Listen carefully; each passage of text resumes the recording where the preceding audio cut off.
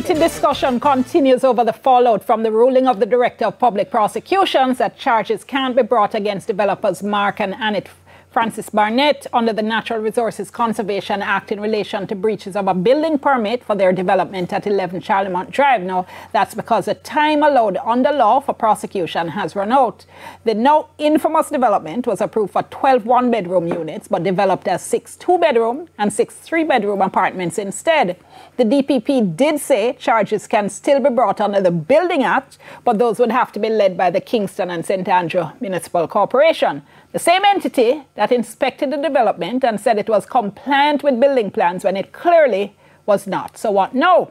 We'll try to figure that out on this edition of All Angles. Thanks for joining us. I'm Dionne Jackson Miller. We're going to be hearing from a little later in the program Daniel Archer of National Integrity Action, architect and historic preservationist Dr. Patricia Green, and opposition spokesperson Senator Sophia Frazer Binns. First, though, I invited the, or I visited rather, the office of the Director of Public Prosecutions, Paula Llewellyn, yesterday to hear more about what she had to say.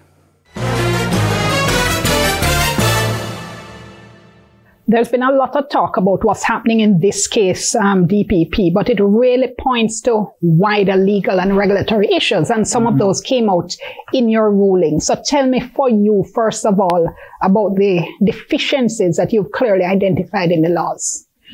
Well, first of all, I don't believe that there are really deficiencies in the laws.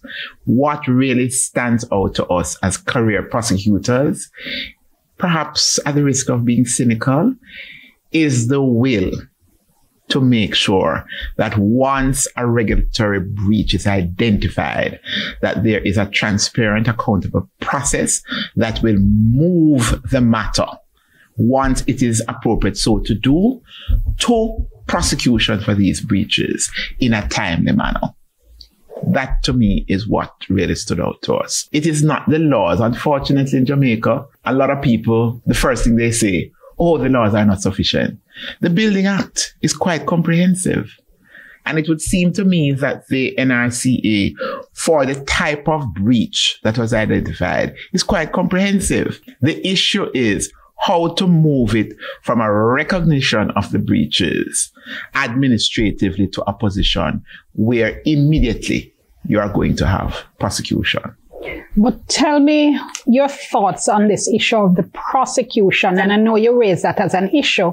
And I ask because when you look at the chronology of events, when the breach was identified, there seemed to have been. In respect of which agency? Remember, we're dealing NEPA, with my apologies. two agencies. NEPA. Because straight up, remember, each act, the NRCA enables NEPA as the regulatory authority. Correct. To Correct. the prosecution. Speaking about NEPA here, Yes. which is the prosecution that was statute barred, meaning that time ran out. Yes. But even when you look at the chronology, when the breach was identified by NEPA, Yes. there did not seem to be any intention to prosecute. Instead, there was a communication Oh, saying, counsel, that's very cynical. no, I'm, I'm going based on the, the, I'm quoting based on the communication. After the breach was identified, you you say at paragraph 12 that the NEPA inspector noted and recommended, quote, that an amendment is required for changes made to the development, which seems Well, to be the way in which things go. The, the, the developments proceed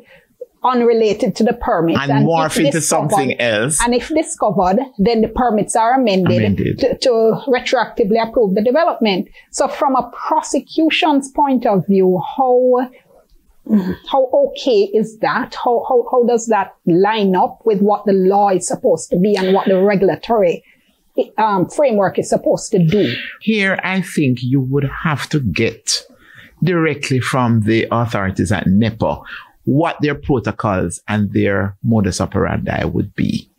Because each agency should have some sort of modus operandi that would inform the exercise of their discretion. As you would be aware, Dionne, as counsel, a prosecutor, it's not every single matter where there is a breach of the criminal law that you are going to prosecute. But you have a lot of factors that you take into account. And that would be mainly the evidentiary material that is available, and the public interest, it would seem to me. And the seriousness of the breach. And the seriousness and the extent of the breach. So I would like to think, I hope that both NEPA and the municipality, um, in respect of their legal officers, and I think NEPA is run by a board, and they have a CEO, that there should be some sort of protocol that would inform how they exercise their discretion. What are the factors that would cause them to say, okay, based on what we have seen here, it is highly unlikely that we are going to proceed to prosecute. But for transparency and accountability, it would be helpful for the public to understand what informed the making of that decision, why you are going to be going on track A as opposed to track B. Moving from this particular development, which I know has been in the news a lot, to some of the wider issues then, because we have a systemic issue. We have, in fact, this is an issue affecting us all across the country, the issue of development and approval. Yes. What for you are the, the lessons that come out of this that, that we need to be paying attention to? Well, first of all, I am looking at the accountable, ultimately accountable officers. A lot of people like to say that it's the ministers or the political directorate. To my mind, this sort of issue, which really surrounds governance being balanced with the develop, developmental needs within the country, is really the account and accountable officers, the permanent secretaries of the parent ministries who would have to see to sitting down with the agencies to make sure that they craft some sort of um, modus operandi to inform their discretion. It is really a governance issue that we that is at play here. Although one lauds efforts to develop the country in all these different communities, but it is so important that our environment or that the public confidence then be affirmed to make sure that the authorities pay great respect to how our environment can be impacted by these breaches, how it can be prevented by persons having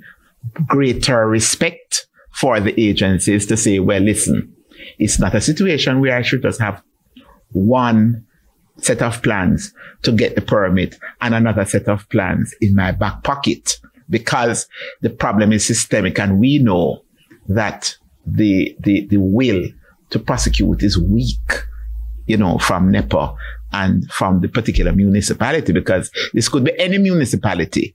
KSAMC, it could be Manchester, it could be St. Elizabeth, it could be Hanover because the Building Act which is quite comprehensive, gives a wide enforcement regime that is either prosecuting, going to court for the breach, or a fixed penalty um, regime.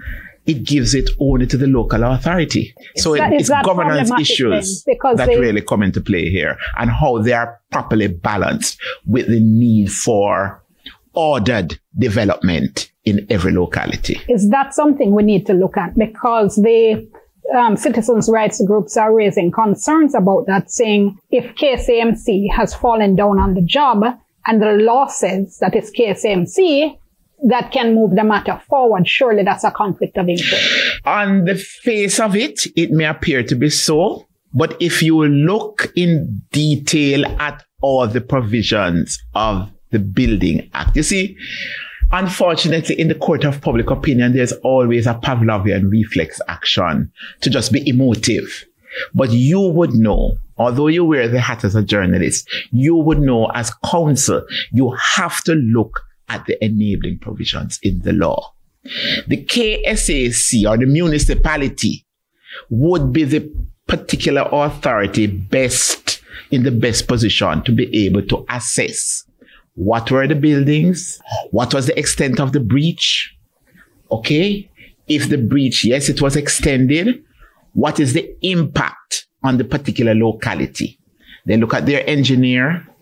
Can we, can the locality accommodate this breach? Or is it a situation that because of the extent of the breach, we would have to need move perhaps a demolition or get a court order? But they would be the people on the ground with the expertise.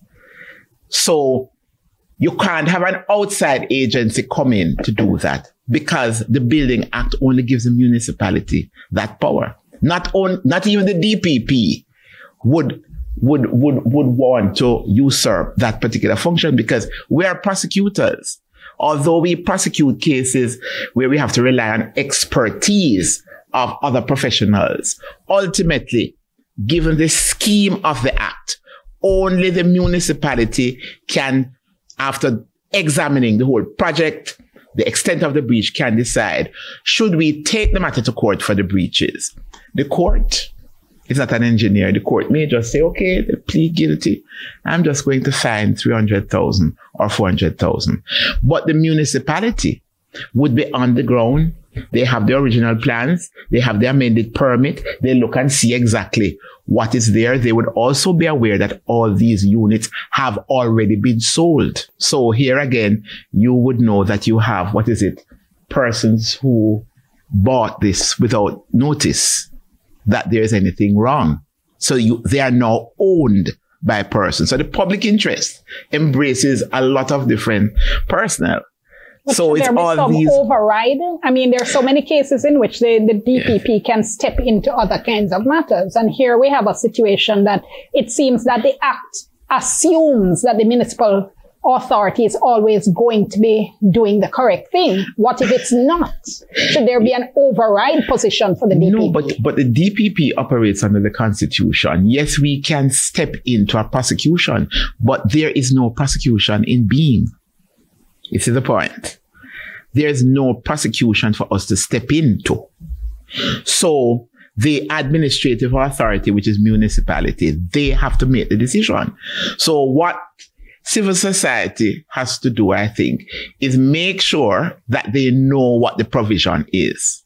Not be too emotive when you are engaging all the municipalities or perhaps the parent ministries.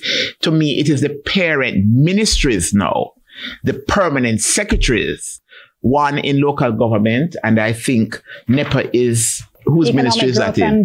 Economic growth and job creation. The permanent secretaries now who really are the administrative heads of the ministry. They are the ones now who would have to call the parties together to make sure that what ought to be done administratively in moving them in a timely way to make a decision one way or the other, whether to prosecute or whether to do the fixed penalty regime, that that is in fact done. Okay, we'll go to the break and then when we come back, we'll talk to our guests in studio. Want to hear from you as well. Our WhatsApp line 3810072. Give us your first name, your general location, tweet us as well. Our hashtag is TVJ. All angles will soon come.